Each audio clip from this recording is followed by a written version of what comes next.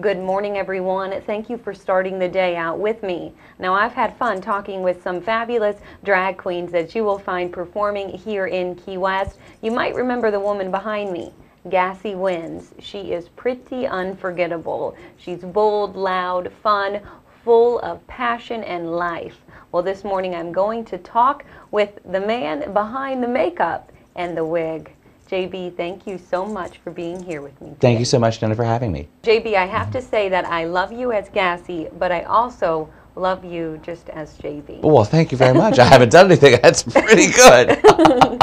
All right, JB, what does JB do during his day? well, JB basically, for the moment, is the general manager of Aqua Nightclub on Duval Street. Would you say JB is a lot more shy than Gassy? Not so much shy, perhaps, but definitely as Gassy, wearing the fat suit is almost like wearing a second suit of armor. So she gets away with a hell of a lot more than I do. So would you say that Gassy is kind of an escape then for you? Yes, uh, basically, because I, I, there's so much I, more I can do with her. I, I live a simple life. I mean, I have two dogs. I, I enjoy going out, but I, I, I've stopped drinking, so I'm not really a partier like I used to be when I was younger. So, yeah, when I put on the fat suit and an outrageous costume, it's just my excuse to kind of just be crazy. Well, I love it. And now, JB, Mm-hmm. something I find interesting with you is you do a lot of acting. That's Mm-hmm. your background. So you do do acting as yourself. Yes. You don't always wear the costume. No, no, no. Uh, well, as an actor, you have to wear a costume eventually. But yes, no, my BFA is in musical theater from Syracuse back in 91 and did that in New York before I moved here to Key West in 07. And, but again, came here basically as Gassy and to work as Gassy, but I never worked as a drag queen professionally. It was just something I did as a hobby. So, and then Gassy basically took over my life. And there was the Waterfront Playhouse and the Red Barn that are here in Key West for theater opportunities, but my schedule as Gassy just didn't permit it. And it wasn't until uh, I did Dirty Rotten Scoundrels back in 2011, I want to say. Might have been 2010. Forgive me, Danny Weathers, I'm sorry. Um, but yes, finally there was, I had a break time where, and the theater here, because they take off for the summer, they auditioned the year beforehand. So I auditioned and got the shows. There was plenty of time to then work out my gassy schedule to actually go back to being JB on the stage. So, and that kind of got me back into the swing of things. And since then, I've been able to do a lot more performing as JB. Well, and you do a great job performing Thank as you. JB. Back to Gassy though for a mm-hmm. minute. sure. When Gassy did take control of you, when it was in full swing, Yes. what did your family and your friends say to you being Gassy? Well, eh, well, that's an interesting question. Um, well, again, my mother had seen me in drag before, but again, just as a hobby.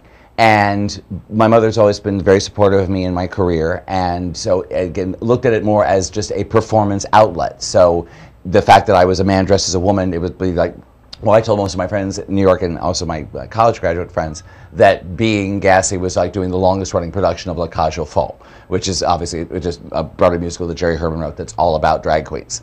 So, and that just it wasn't a surprise to anyone. So, but yeah, my, my but my mother is again a great supporter of me. Uh, she's been down. Actually, she has been Mumsy Winds on several occasions where I've gotten her dressed in drag to then add wig and the full makeup and whatnot. So. Oh, how fun is Oh, that? yes. So you have a little mother and mother and daughter performing. Exactly. well, well, she's more the backstage person, but yes, but same thing. When you put her in the in a, in a house coat and the big glasses and the beauty mark, yeah, she gets a little uh, extroverted herself. That's great. So it's wonderful then to hear that you had a supportive family and friends. Yes. surrounding you.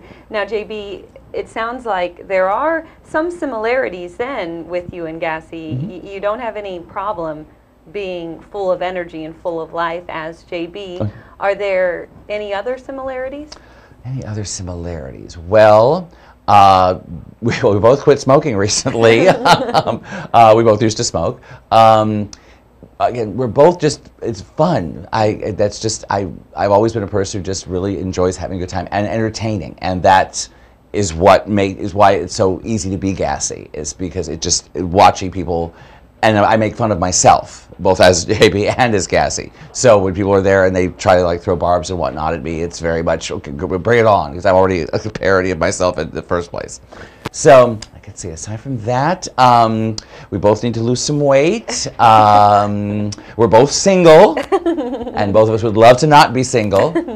Um, I think that pretty much covers the basics. and we obviously know there's a lot of differences. And Yes. as JB, how long does it take you to get ready? Um, uh, well, I, I try to take a little more time. Well, I, get- I have hair that does absolutely nothing, so that's the hardest part. But Gassy, again, it's 15 minutes in, five minutes out. So once the beauty mark and the lips are on, we're good to go. But JB, you have to shower, and just once the hair decides what it wants to do, throw on some clothes, and I'm out the door. Well, there you go. And we can see you perform as JB. I know Mm-hmm. you're very busy this upcoming season. It has been crazy, yes. Um, basically, because equally as JB at, at at Aqua as GM, I do some other stuff. Um, we are get, doing. think, breathe, speak. I'm a little nervous. See, I'm not gassy today. I'm nervous.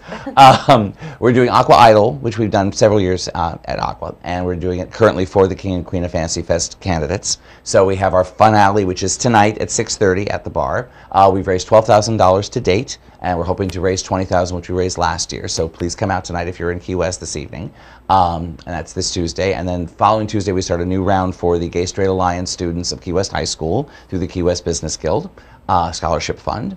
And then I will be hosting coronation for the King and Queen of Fantasy Fest candidates. That's at Southernmost Beach Cafe on Friday night, uh, starting at 6. Tickets are still available. You can go to the AIDS Help website, aidshelps.cc, for that.